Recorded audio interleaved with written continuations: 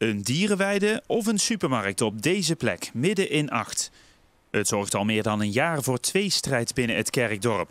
De kogel is nu eindelijk door de kerk. Want de Eindhovense politiek wil dat de dierenweide behouden blijft voor Acht. Als er een supermarkt gebouwd uh, uh, gaat worden, dan moet de bestemming veranderen van groen naar bouwen. Gaan we dat ooit doen daar? Nee. Bijna 1700 handtekeningen haalde een actiegroep op om de dierenweide te behouden.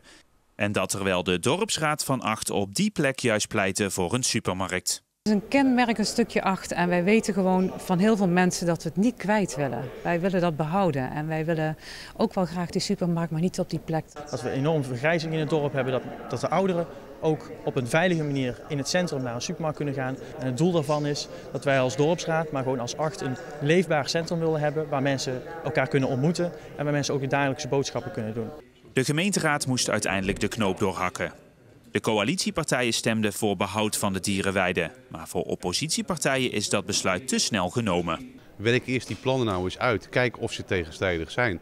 Als het niet zo is, kun je ze makkelijk alle twee realiseren. Als ze wel tegenstrijdig zijn, leg dan de uitgewerkte plannen voor. En dan hebben we eh, echt iets om, waar, aan de mensen in acht kunnen vragen van... ben je voor het een of ben je voor het ander? Tuurlijk is het wel zo dat er echt een tweestrijd is. Dat er echt een heel groot gedeelte van acht een supermarkt wil. En dat er ook een heel groot gedeelte van acht de dierenweide wil behouden.